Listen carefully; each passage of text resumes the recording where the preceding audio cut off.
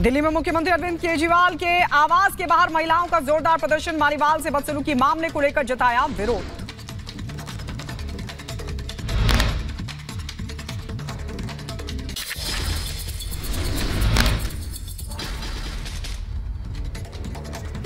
मालीवाल से बदसलूकी के मामले को लेकर महिलाओं का फूटा गुस्सा, चूड़ियाँ लेकर पहुँची बीजेपी महिला कार्यकर्ता।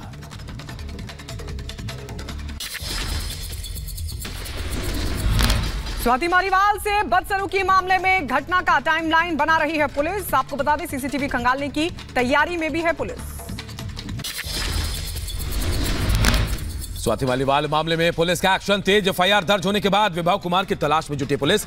दिल्ली पुलिस की पाँच टीम छानबीन में जुटी। स्वाति मालीवाल के साथ हुई बदसलूकी मामले में विभव के खिलाफ कई धाराओं में दर्ज हुआ मुकदमा। दिल्ली पुलिस ने स्वाति मालीवाल से चार घंटे पूछताछ के बाद विभव के खिलाफ दर्ज किया केस।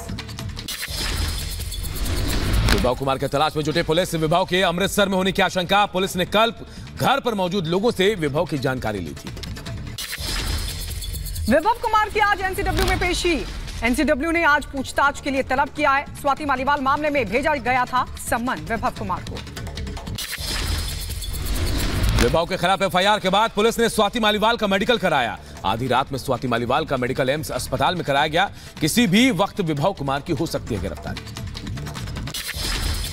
आम आदमी पार्टी की सांसद स्वाति मालीवाल ने दिल्ली पुलिस को लिखित शिकायत दी। पुलिस सूत्रों के मुताबिक स्वाति ने अपनी शिकायत में बताया कि विभव ने आ, उसे थप्पड़ मारा लातों से मारा और पेट में भी मारा। इतना ही नहीं बॉडी पर हमला भी किया।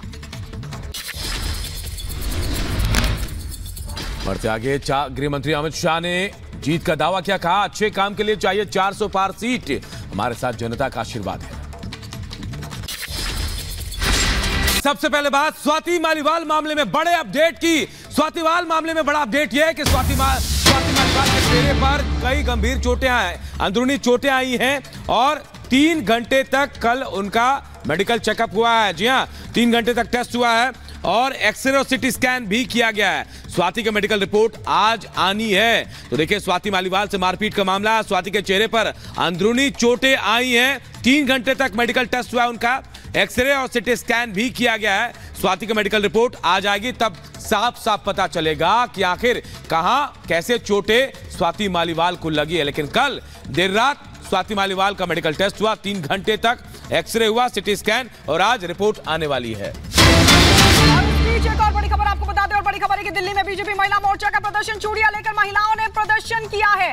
अरविंद केजरीवाल के खिलाफ महिलाओं का जोरदार प्रदर्शन। बीजेपी महिला मोर्चा की कार्यकर्ता अरविंद केजरीवाल के घर के बाहर पहुँच गए। देखिए, तस्वीर हम आपको दिखा रहे हैं। सभी महिलाओं के हाथ में चूड़ियाँ हैं, और चूड़ियाँ लेकर वो अरविंद केजरीवाल के खिलाफ प्रदर्शन कर रही हैं। सवाल उठा रही हैं कि आखिर विभव कुमार को कहाँ छिपाया गया है? विभव कुमार पर कार्रवाई क्यों नहीं हुई? और सबसे बड़ा सवाल यह उठाया जा रहा है कि एक महिला सांसद को मुख्यमंत्री आवास में कैसे पीट दिया गया? मुख्यमंत्री क्या कर रहे थे? इन तमाम सवालों के बीच बीजेपी की ये महिला कार्यकर्ता लगातार प्रदर्शन कर हम सीधे रुक लेते जतिन हमारे सहयोगी इस वक्त हमारे साथ लाइव जुड़ रहे हैं। तमाम सवाल है। जतिन, जो अब महिला कार्यकर्ता भी उठा रहे कि एक महिला कार्य, एक महिला सांसद को मुख्यमंत्री आवास पर पीट दिया गया। मुख्यमंत्री क्या कर रहे थे और अब विभव कुमार को कहाँ छिपा दिया गया है?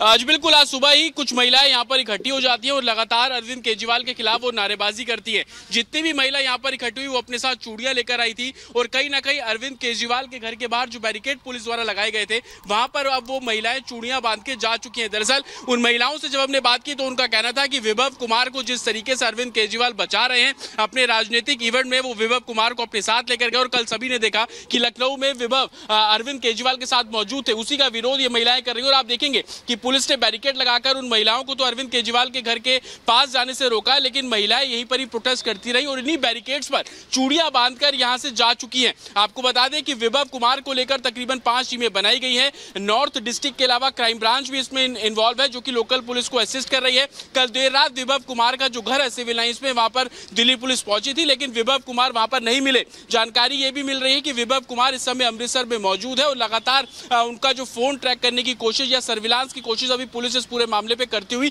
नज़र आ रही है। और इसमें सबसे बड़ा अपडेट अभी ये भी है कि स्वाति मालीवाल की जो कल एमएलसी कराई गई थी उस पर साफ़ तौर पर पुलिस को ये जानकारी मिली है कि स्वाति मालीवाल के चेहरे पर अंदरूनी चोट थी और यही कारण था कि एम्स ट्रॉमा सेंटर में तकरीबन तीन घंटे तक स्वाति मालीवाल का मेडिकल टेस्ट कराया गया। उस मेडिकल टेस्ट की रिपोर्ट भी आज आ जाएगी जो कि दिल्ली पुलिस को सौंप दी जाएगी। तो तमाम ऐसे पहलू हैं जिसको लेकर बिल्कुल बिल्कुल जतिन और कहीं ना कहीं मुश्किलें बढ़ गई हैं के साथ एक और बड़ी खबर, बिहार की राजधानी पटना से, पटना में भीड़ ने एक स्कूल को जला दिया गया। स्कूल में बच्चे का शव मिला था। शव मिलने के बाद लोगों में नाराज़गी थी, उग्र प्रदर्शन किया गया। उसके बाद भीड़ ने स्कूल को जला दिया। पटना से, बिहार की राजधानी पटना से बड़ी खबर मिल रही है। एक स्कूल में बच्चे का शव मिला था, जिसके बाद लोगों में भारी नाराज़गी देखी गई। लोगों ने उग्र प्रदर्शन किया और उसके बाद स्कूल को जला दिया तस्वीरें में आपको दिखा रहे हैं। देखिए, ये प्रदर्शन हुआ सड़क पर भी। सड़क पर भी विरोध प्रदर्शन किया गया। वो तस्वीरें हम आपको दिखा रहे पटना, बिहार की राजधानी से, जहाँ एक स्कूल में बच्चे का शव मिला था, जिसके बाद नाराज़गी देखने को मिली। जो पेरेंट्स थे, अभिभावक थे, उसके बाद जो स्थानीय लोग थे, उनमें नाराज़गी देखी। उसके बाद कैसे विरोध प्रदर्शन किया गया है, उसकी तस्वीरें हम आपको दिखा रहे हैं। बच्चे का शव मिला, उसके बाद भीड़ का उग्र प्रदर्शन देखने को मिला है। सड़क पर भी विरोध प्रदर्शन मिला है, और कैसे जलाया गया है, वो तस्वीरें भी हम आपको दिखा रहे हैं। हालाँकि